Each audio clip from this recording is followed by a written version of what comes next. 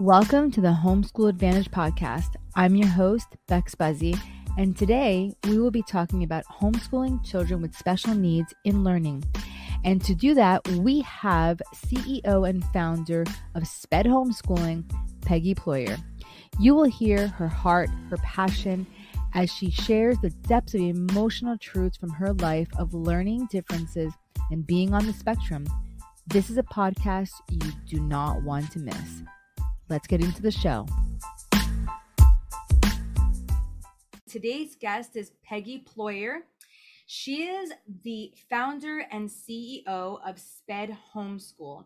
She was a physicist who turned home educator, left a lucrative career in medical device industry to teach the struggling learners in her own home after her oldest son was diagnosed with Asperger's syndrome. Peggy is the former Texas Homeschool Coalition Special Needs Team Lead, Minnesota Association of Christian Home Educators Special Needs Coordinator, Mothers of Preschool Area Coordinator for Minnesota, North Dakota, and South Dakota. She is certified by the American Association of Christian Counselors and trained as a precept Bible study leader. She is also very open about her own autistic tendencies and quirkiness. In her free time, Peggy enjoys aerial silks, paddleboarding, vegan cooking, hiking, and reading. And you can tune in every Tuesday as Peggy hosts Empowering Homeschool Conversations, a weekly talk show that focuses on homeschooling unique learners. Or you can join her every weekday on her podcast, Daily Revelations.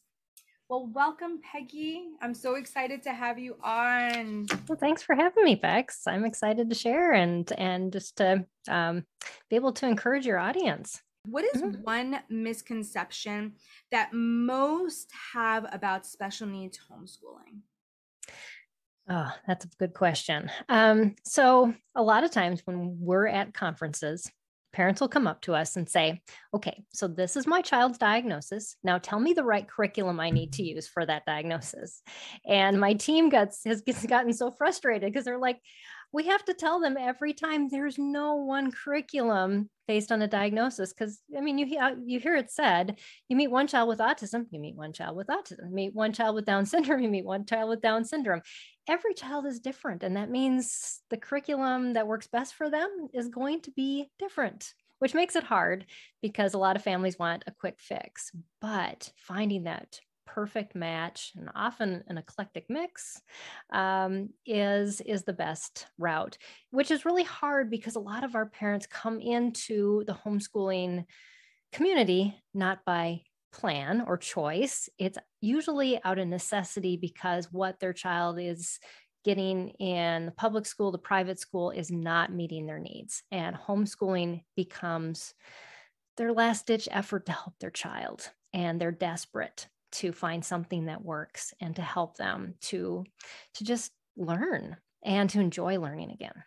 Oh and i i wanted to circle back really quick. You said that a lot of parents come in with that one diagnosis is that possibly because the public school system has like just that one type of way of helping a child the private school that they don't maybe they don't have the resources to be able to be that diverse where in homeschooling you're able to really get a focus on that's a really good good perception exactly. So a lot of times a public school or district will buy one curriculum to meet one diagnostic need and that will be the one that they use. It's not that it's the best choice. Sometimes it was just influenced by who's using it, um, who's in charge of spending the money.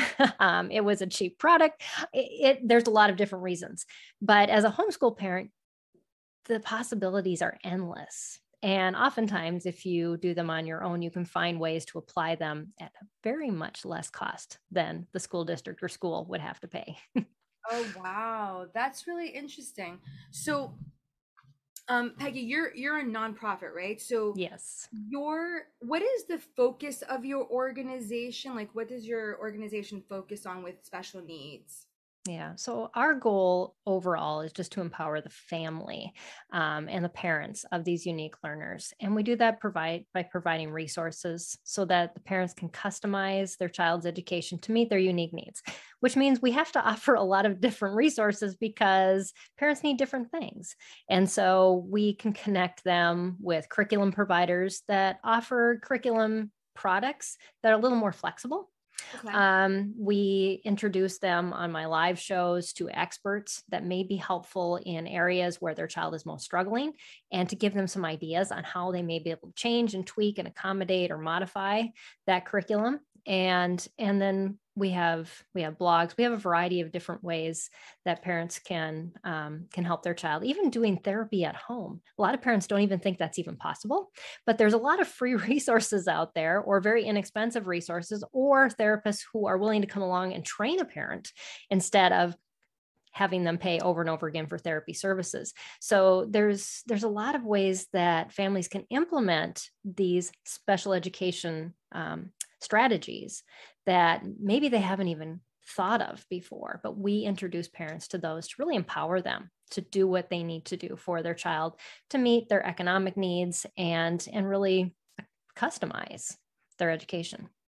Wow. So i just want to talk to the parents out there. I, one of the biggest uh, nuggets i got right out of this is that you you're basically going to have a lot of help first off. You have a lot of resources and your child is not going to be another number or right is this not going to be like everybody else because we all know that our children are not our children are very individual and they deserve to have that type of curriculum that type of education that type of experience mm-hmm. that type of re-loving to learn again yeah. But I, I think that's like a huge takeaway. You said that people will train them. So do parents mm-hmm. have to have like a certification or can they come as is?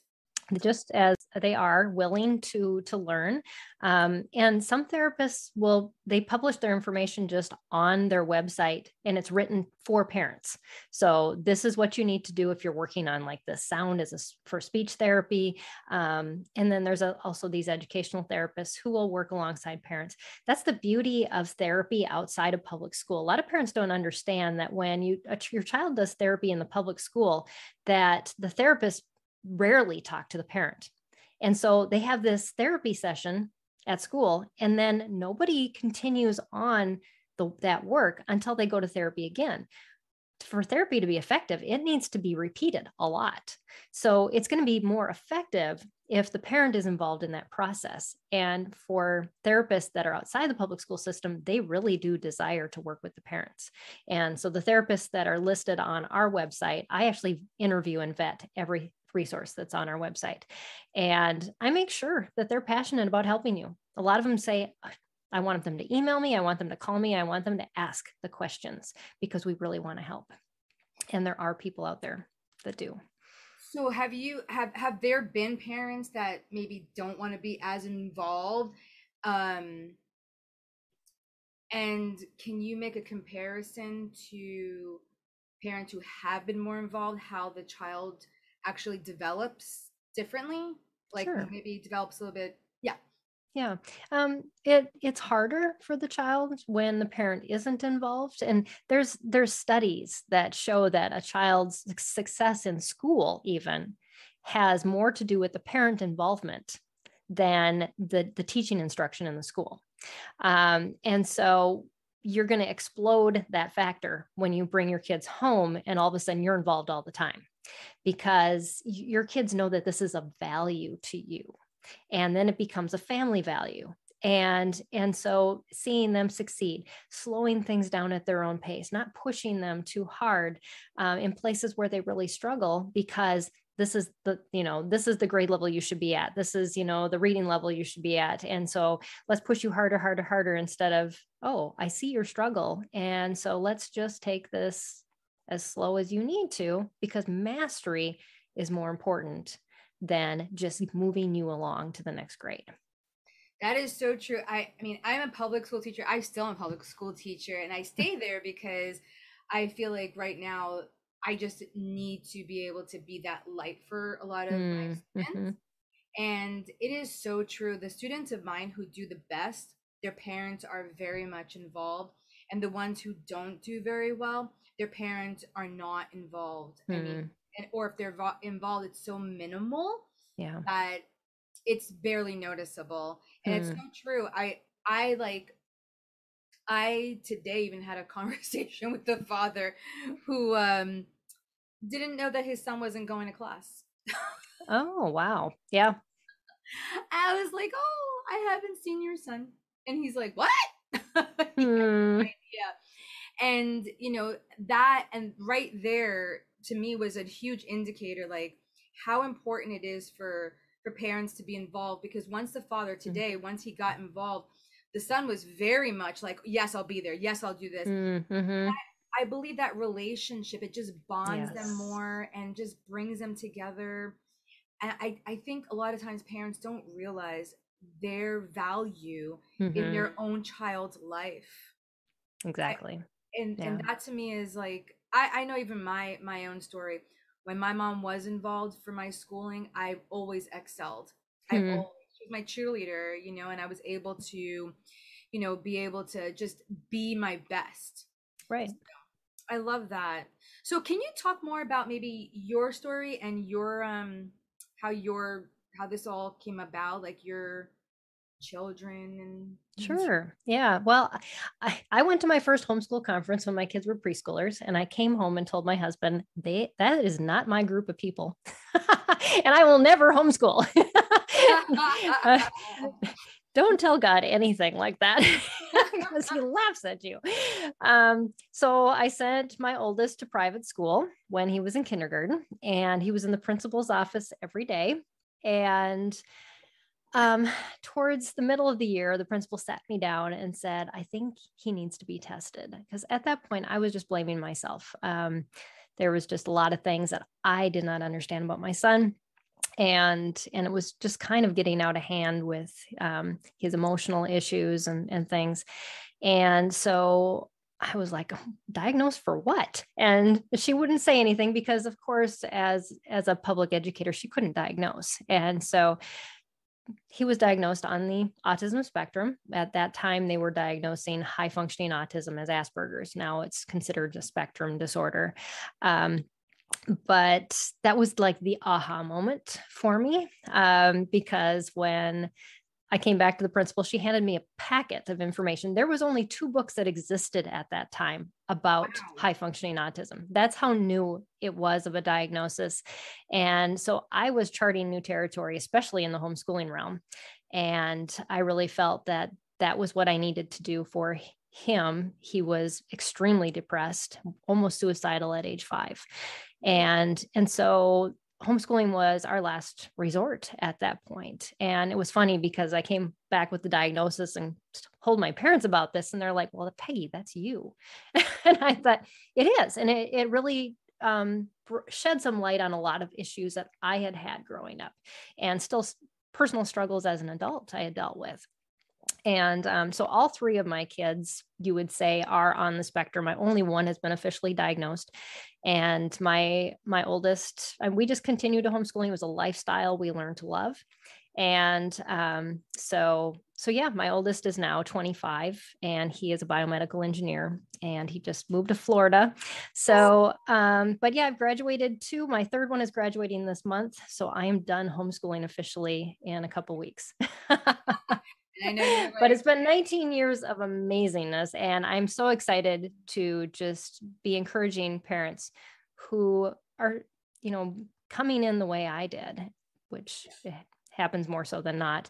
Um, just that there are resources. I, I I know what it's like not to have resources. I know what it's like to go to homeschool conferences and go home crying because there's nothing there. Everybody's talking about how their child's going to college when they're nine or 10, you know, and here's mine he can't read yet at nine or 10. And and what hope is there and it it was it was a hard road but um but there is so much hope for our kids we just have to walk alongside them and and point out what they're good at because they are good at a lot and i love what you just said because your son is now he didn't start. Is this? You talking about your first son? He didn't read till he's nine or ten.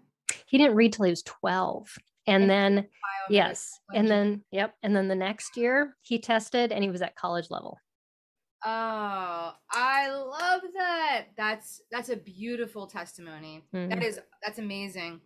Now, when we had an early conversation, I um you were talking about um 2E and gifted learners. Ah, yes. And so this to me is a real new um I've never heard of 2E when it comes down mm-hmm. to um special needs or special education or gifted learning. Can you um maybe some parents have a 2E child that they don't even know? Yes, yes, that's very likely because a lot of times we want to point out the things that kids don't do well instead of the mix of kids that are gifted yet have learning differences. And these are what we call twice exceptional or 2E learners. And all of my kids fall on that. They're extremely smart, which makes it really difficult when they have a struggle because there's some things that they're really, really good at. And then all of a sudden, when they struggle, they kind of hit rock bottom really quick, which lead to a lot of mental health issues as well. Um, and so, so for a lot of these students, what my suggestion is, I actually have a whole talk I give on the at conferences is about customizing their their education to focus more on their giftedness and then you work slowly on those things that they really struggle at and so that was what we did with my son with his learning issue. Um, he was actually doing mechanical engineering at the same time he was still learning to read because i knew this was something he was good at and so why not dive into that and and let him see just how smart he was and then yeah i'll read it or we'll have audiobooks or we'll you know watch videos we can get the content in otherwise the reading will come but you don't take out everything else that gives them joy so that they're good at something that they they struggle at because then all you're doing is pointing out this is what you do bad at every day um, and it's defeating Instead, just focus on the stuff they do good at. They will catch up with the rest because they want to have that skill to read because they're going to want to dive into to things that are only in content that are in books. And and so that learning does happen. That is so beautiful. Oh my gosh. I really wow, that's very inspirational. Honestly, like because you know, I guess me being in the public school system, I don't get a chance to I mean, I see it every now and then, but not to the extent where you're talking about because mm-hmm. a child like that would have been, I mean, unfortunately, they would have been written off in in the public school system. right, and a lot of times they become behavioral issues correct. in the school. And um, I know I spoke at a conference in Las Vegas last year to a bunch of educators, and I talked about how we use differentiated education in our our homeschool. And so many of them came up to me afterwards, and they said, "We only dream of doing what you do yeah. because we can't. We have too many students right. to be able to do that. And that's that's the truth of just a large classroom. Homeschooling allows you to have that customized education. I love that and that is so very true. Oh my gosh. Um yeah, so I guess we kind of can see who your ideal student is, right? yes. Who you who you focus in on. Um, but you also had mentioned early in, in an earlier conversation um, customizing and optimizing um, your child their child's learning. Can you give like a, a couple of examples how you can customize and optimize uh, this type of education? Sure. So, like for my daughter, she has a gift in art. Um, and so, writing was something she didn't want to do. So, we just spent an entire year. Um, she wrote a magazine and of course the magazine had to have artwork so each each story she wrote a short story a long story a restaurant review a poem but each one had a piece of art and so at the end of the year we had all this artwork and all of her writing and we actually published it and and so that was an inspiration to her to to dive into all these different forms of writing that she wasn't too excited about but the artwork she was. And so that motivated how she she wrote and what she wrote about because she was of course contemplating how she was going to draw out the pictures for the magazine. So that's just one of the ways that we've done that in the past. Wow, that I really love because now you're really focusing in on a, on a child's um, interest and love Mm-hmm. of a um of a of a of a topic because I love art Mhm. and I went all through high school hating history, like hating history. Oh, yeah. hmm it, didn't compute it, didn't make sense to me. It just sounded like a bunch of dates. And I got to college and I took art history. Oh, yes. Yeah. And- We did that in high school with my daughter. hmm I it was like history became easy. Everything Mhm. I understood. I understood the dates. I understood the whys. I understood. I mean, everything became so very clear. It was unbelievable. It really, Yeah. really was. hmm Peggy, this has been an amazing conversation so far. Now we're wrapping up. What's the biggest takeaway you have for parents? What would you want parents to take away from um, all of this? My biggest takeaway is that um, you look at these homeschoolers that are out there and you think, that's not me. That's what I hear from a lot of parents. And guess what? That wasn't me either. My son came home, he was depressed. He told me, Mom, God is like a bird and he's laid an egg, and a snake has come and swallowed me up. And when he said that to me, I looked at him and said, That's where I'm at too. I was dealing with depression. I had anger issues. Our house was a mess. And where God has brought my family from, because we have chosen to be obedient to homeschool, has been a beautiful thing. So do not say, I can't do it, because God can do it. And He can do it through you, and He can change you, and He can change your family. So that's my my tidbits of wisdom. um, and I just want to encourage you. There there is community out there that understands and is willing to support you. So take that first step of faith. Oh wow, I love that. Wow. So what's the call to action? Where can they um uh find your resources and connect with you? Sure. Well, our website is spedhomeschool.com. That's S P E D homeschool.com. We are a nonprofit, so the majority of our resources are free. And, and so our partners actually pay for those resources to be available to you. And so they are curriculum companies, therapists, consultants, and they're listed on our website. And again, like I said, I vet them each personally, so you can trust that they are resources that are, are going to work for your homeschool and so um, so just looking into those um, as well. We also have a youtube channel with close to 900 videos on it um, that you can search. And and some of them are my hour long broadcasts but also we take three to five minute segments for those from each broadcast and republish them. So if you're looking for shorter content that's available there too. Um, we have our podcast empowering homeschool conversations and that's available just on any podcasting platform and we've been doing that for four years. So again there's a lot of content there too. But um, and we also have the number one special needs homeschooling blog. So those blogs are just filled with with lots of resources. And again you can search our website for for specifically what areas you're looking that you need help or encouragement. Um, we're we're hoping we we have everything there for you. And we focus on a different topic every month knowing that we want to have content to cover all the questions you have. And slowly we're doing that. Wow. Okay. So, homeschool nation out there, you have these resources at your hand. You have people like Peggy Ployer who just have a beautiful heart, who have a passion for this. And I would say, guys, take the call to action, call, look at her website. I mean, dive deep, take that time, carve out that time for you and your children and your family so that you guys can learn more and take it mm-hmm. advice and and expertise from someone who's been there, who's done it and has a heart to walk you through it. All right.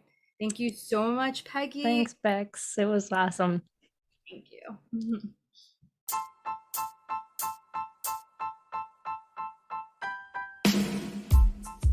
You've been listening to the Homeschool Advantage podcast, where you get the scoop on all the latest vendors that fit your lifestyle. Thanks for listening. Also, follow me wherever you listen to your podcast to stay up to date on the next episode. You can also visit my website where the episodes will be and for my free lesson plan course, which can help you if you have different vendors and you're wondering, how do I make them all flow together? Let me help you with that. And if you're a vendor and you think you would like to be on the podcast, send me an email realedtalk at gmail.com. Leave me your name, contact, website, and I'll get back to you. Thanks for stopping in with me, and I'll see you on the next time.